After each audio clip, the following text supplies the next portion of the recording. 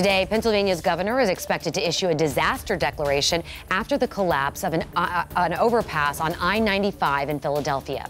Crews are working to set up alternate routes for the busiest stretch of road for summer travel on the East Coast. It could take months to repair the damage. Yesterday morning, the northbound portion came down. Southbound lanes buckled after a tanker with more than 8,000 gallons of gas caught fire below.